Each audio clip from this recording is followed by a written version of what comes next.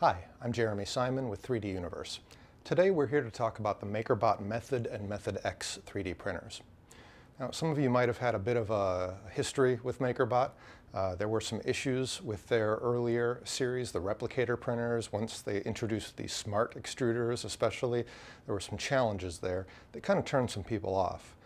Uh, I'm here to tell you that this is not the same kind of a 3D printer. This has been completely re-engineered from the ground up, taking advantage of much of the expertise present within the Stratasys organization uh, since they acquired MakerBot. And uh, they've really introduced some great features. And uh, the company itself has changed quite a lot too. Uh, we have found it to be uh, very different than the MakerBot that we had worked with years ago, and they've made some very positive improvements. So overall, they've, they've given me a lot more confidence in the brand with their latest product releases and the way they're running the organization now. So the one thing that really makes the Method and Method X printers stand apart from other desktop 3D printers is that instead of just using a heated bed, which is common, they have introduced an active heated build chamber. So the whole chamber heats up evenly using circulating hot air, and it allows you to make sure not only do your prints stick to the bed, but also that you have consistent performance throughout the print, that that heat carries all the way through layer after layer. That gives you better layer bonding throughout the print and that results in a stronger part with better dimensional accuracy. So it's a really nice feature, leads to very reliable prints even when you're using more advanced materials that are typically very challenging and it allows you to use advanced support materials like the SR30 support, which again came from the Stratasys organization. That's a soluble support material that's compatible with higher temperature materials like ABS or ASA. Uh, you do need a special wash tank with a special cleaning solution in order to dissolve those supports, but it introduces a nice option for people that want to work with those uh, higher grade engineering level materials. The only difference between the method and the method X, this is the method X that you see here, is the temperature limit for the active heated chamber. So with the method printer, the limit is 60 degrees Celsius for that internal temperature, whereas with the method X, that limit goes up to 110 degrees Celsius. And that opens up a wider range of material possibilities for you. So with the method X, you can print in higher temp materials like ABS, ASA, uh, polycarbonate ABS, and uh, that SR30 material that I mentioned, that advanced support material. Those require the higher temperature capabilities of the Method X printer. So the first thing that I noticed when I unboxed this printer is that it is extremely well built. Uh, this thing is very solid, it's quite heavy, and it just feels like it's really solidly built, like it's not gonna have uh, parts breaking or falling off. It just feels very robust and uh, that has certainly been my experience in using it. It's been very solid, very consistent, haven't had any issues with it. Uh, it just seems to be built out of really high quality components. So let's take a look at what we have here. Uh, if you lift off the top cover, you can get access to the extruders uh, and the, the Bowden tubes that uh, feed the filament up to those uh, extruders, the hot ends. And you can replace these um, different uh, extruders depending on the type of material that you're using. We'll take a look at some of those extruder options momentarily. They're very easy to install. The extruders just drop right in there and they get automatically recognized by the printer. You have a nice door on the front that keeps everything nicely sealed. Again, because we have that active heated chamber, we need to keep all that heat in, but it also makes it nice and easy to see what's happening on your print job. The build plate is a flexible build plate, which is just attached on magnets, so it's very easy to pop this out, and then you can just flex the plate and your prints pop right off. Makes it really easy to remove the finished prints. You've got a really nice touch screen here that makes it easy to access everything that you need to set up and configure the printer get it ready to go. The filament bays are down here and these are sealed bays so that they will help to maintain the humidity level of the filaments that you put in here. The filaments, uh, at least the MakerBot brand of filaments, are auto-detecting, so they have a, a, chip in there that allows the printer to automatically detect the type of material, and uh, they remain sealed in these bays, again, to help control that humidity level and, and keep the filament at its, at its highest quality level. It's very easy to load new materials. I currently have this top bay empty. I'll show you what's involved in loading a material now. Just go to material and load. Now it says to open bay one. I'm just going to load in a spool of ABS here. And this is really nice because all you do is set the spool in there and then feed this filament into the feed hole here. Printer grabs it, feeds it all the way in for you. So as soon as it picks that up, you can go ahead and close this bay and the printer takes care of the rest for you.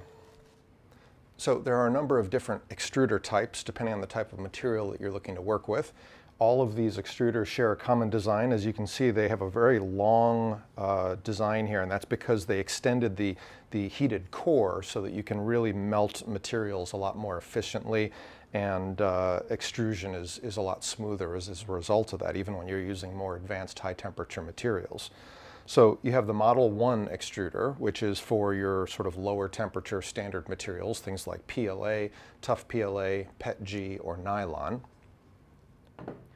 And you have the Support 2 extruder. This is for PVA. This is for the water-soluble PVA support material specifically. Then you have a Model 1C extruder. This is for composite materials like the uh, MakerBot nylon carbon fiber, as well as any other abrasive materials that they may release in the future. And then we have the MakerBot Labs experimental extruder. And this allows you to use a broad range of third-party materials with your MakerBot Method or Method X printer, opening up a huge range of printing possibilities. Now when you put in the experimental extruder, you won't mount your spools in the internal sealed bays, and that's a good thing because some of these third-party spools might be different sizes, they might not fit well in those bays. But what they let you do is mount that on the side of the printer. There's a little door that opens up here on the side, and there's two auxiliary ports over here where you can feed those third-party spools in. So you would simply 3D print a spool holder that goes on the auxiliary mount here on the side. You can mount your spool right on the side of the printer, and then they feed right into these auxiliary ports going in through the same Bowden tubes and, uh, into the extruders. So all of those extruders that we've looked at so far work in either the Method or the Method X models. The two remaining extruders that we'll talk about next are higher temperature material extruders, and those are only compatible with the Method X or Method X carbon fiber. So you have the Model 1XA. This is for your higher temp model materials, things like ABS, ASA, polycarbonate ABS, and the flame retardant version of polycarbonate ABS, as well as other higher temp materials that MakerBot may introduce moving forward. And then last but not least, we have the Support 2XA extruder, and this is specifically for the SR30 support material, which again is a soluble material, but unlike PVA, which dissolves in plain water, the SR30 requires a wash tank that circulates heated water, and you have an added cleaning agent that helps to dissolve those supports. So you need a little bit more of a specialized setup to work with the SR30 material, but it's a great support material for higher temperature uh, prints uh, with materials like ABS or ASA, etc. So as I mentioned, the active heated build chamber is really what makes this printer series unique. And that's important not just because it makes it easier to get consistent print results, it makes sure that your prints stick to the bed and that they don't warp like some of the more advanced materials tend to do, but also it gives you stronger and more dimensionally accurate parts. This printer has really been tuned for dimensional accuracy. And unlike some 3D printer manufacturers that tend to focus on uh, the precision of uh, how accurately they can position the extruders, they talk about terms of you know positioning accuracy in, in so many microns. MakerBot instead focuses on what really matters, that is the dimensional accuracy of the final parts that get printed how closely does that part that gets 3D printed match the dimensions of the original CAD model that was used to produce it? That's what we really care about, right? We want our model to match the design that we fed into the printer as closely as possible.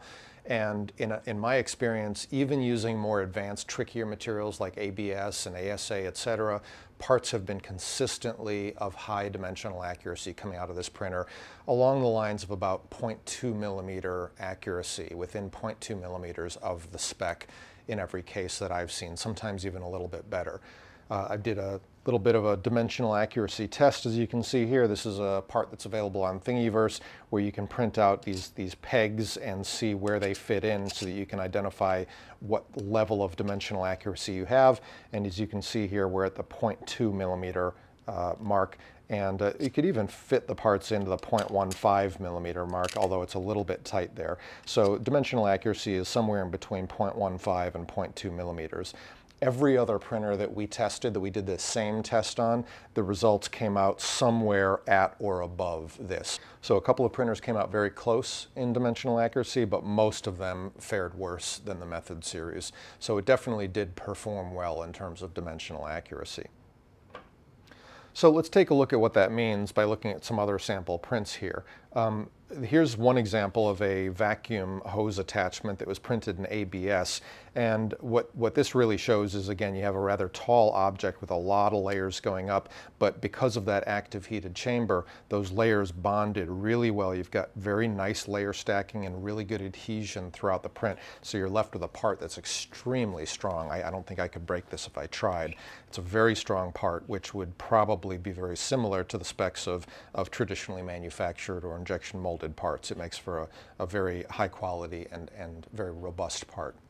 And then here's a uh, really interesting test. This is a, a, part that shows how the dimensional accuracy differs from one printer to the next. So this is a print of this object that we did on a different printer, not on the method.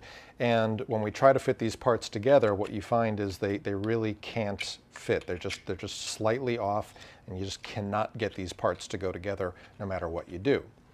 That very same part printed with default settings in ASA on the MakerBot Method X, and these parts smoothly slide into one another. It is a tight fit as it's intended to be, but once you get them lined up right, they slide right in together, perfect fit. So it's, uh, that was a really impressive show of how dimensionally accurate these parts can be compared to some of the other printers out there. Here's another example. This is a uh, circle type test. So this is testing for how accurately does the printer handle circles. And in this case, you have concentric circles and these ridges need to fit into these slots. And again, here's a version that we printed on another brand of 3D printer and these parts will not fit into each other. We, I cannot get the, the two halves to slide in there. They just don't quite line up no matter what you do.